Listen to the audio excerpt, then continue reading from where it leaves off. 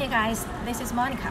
So today we have a new guest, film director Wang Xiaoshuai, who has just arrived in Sanya for this film festival.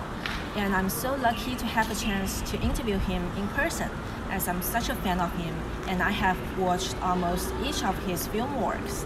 And let's see how it goes.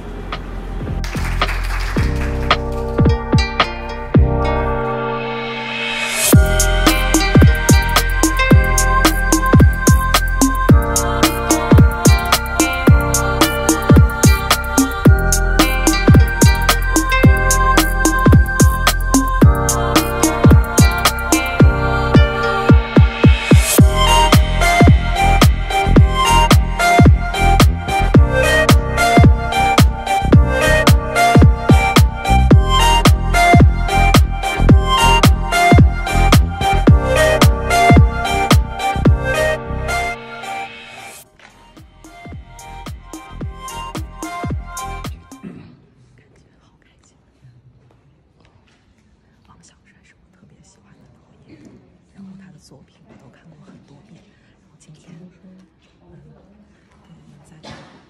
那你最喜欢的是哪个作品？最喜欢哪个作品？地久天长。